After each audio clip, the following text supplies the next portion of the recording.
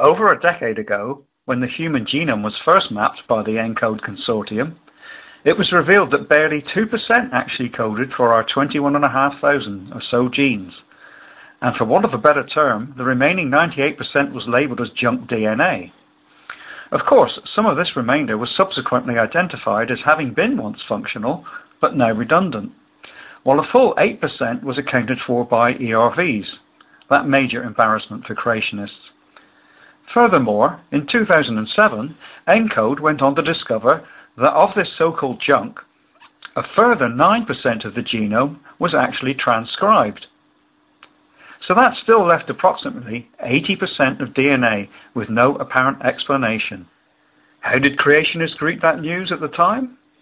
Well, of course, to them, it was proof that evolution was invalid, but they never said how, and that design was true, but they never said how.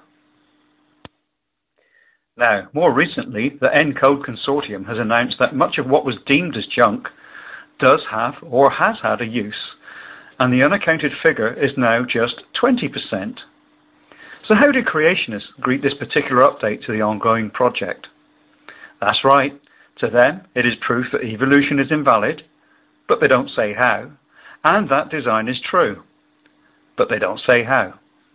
Spot the problem with the creationist approach? Yes, regardless of what the consensus is by real scientists, they will just enter into denial without offering any reasoning for their denial.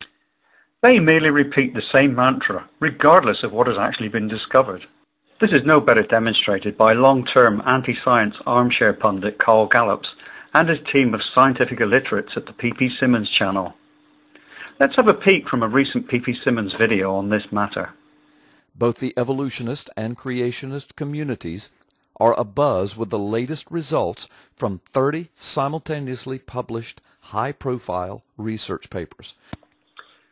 So, Carl, why are creationists abuzz with 30 simultaneous papers when none of them have been involved and, of course, never will be involved?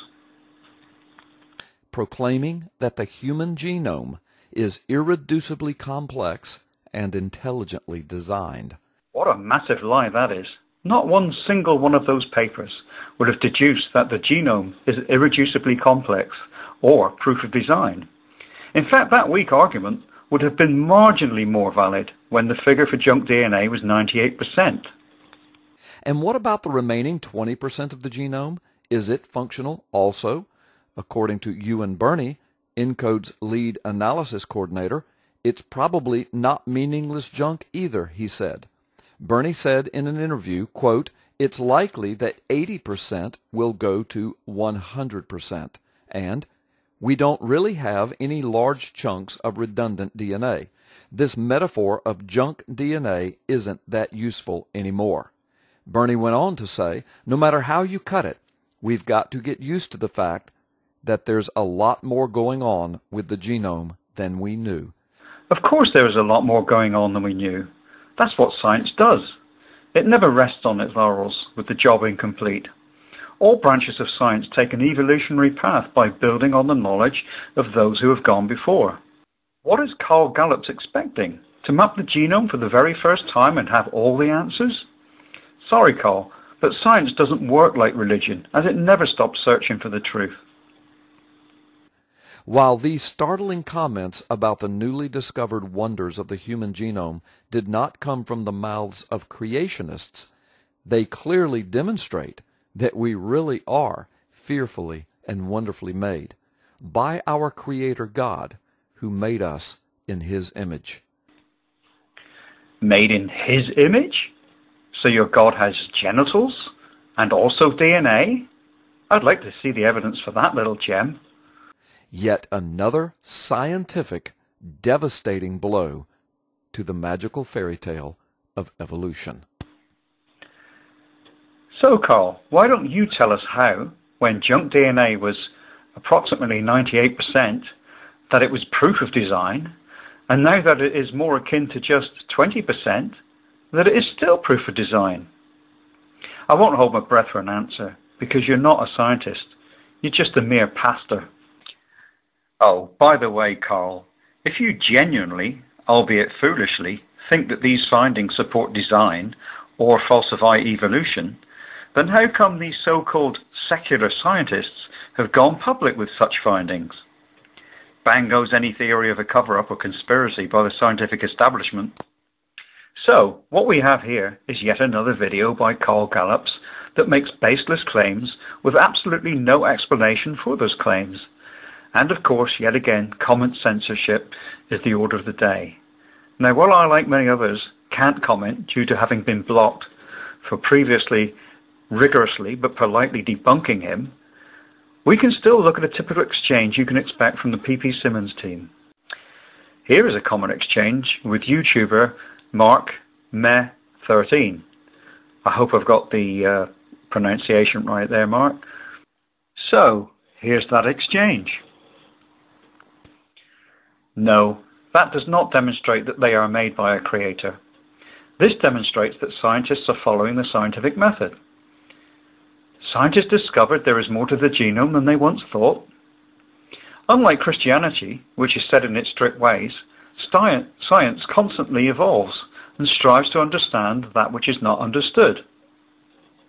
And here's P.P. Simmons' reply with, notice the mock hurt. My, my, thank you for your post. You have just demonstrated what we all knew about Evo heads. Wow. Mark then responds, that post doesn't actually say anything. I'm not going to put words in your mouth. So would you like to try again with substance? And P.P. Simmons retorts with this little gem. Nope, you said it all. It is clear for those who know the truth of real science and the truth of the evolution proposition. Thanks for the post. It will be your last one here.